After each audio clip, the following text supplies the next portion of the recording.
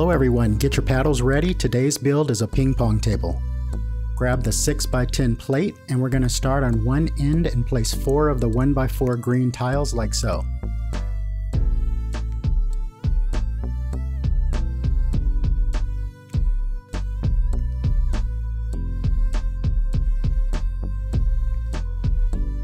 Flip the 6x10 plate around and repeat.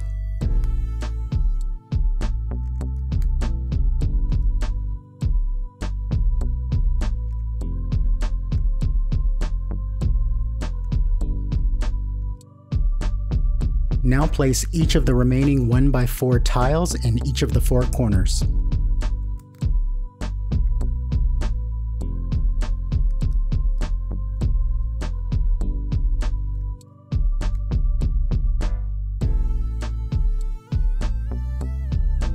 Let's build our net, beginning with the 1x2 plates with the top stud, and we want to place those in the middle outside positions.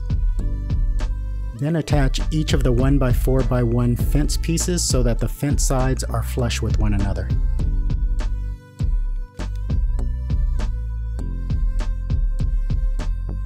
Finish the net by placing each of the 1x1 30 degree slope on top of the 1x2 top studded plates.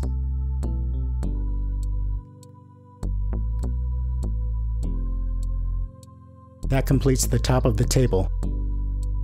Now let's flip it upside down and attach the four 2x2 bricks to each of the outside corners of the 6x10 plate.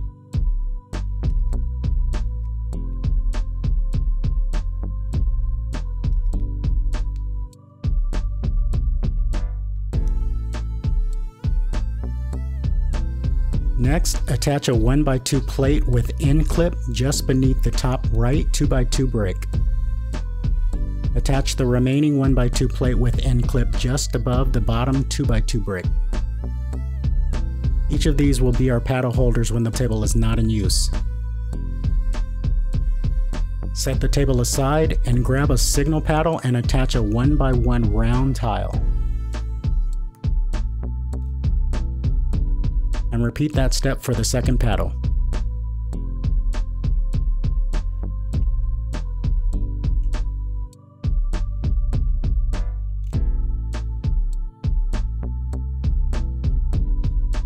And that completes our ping pong table tutorial.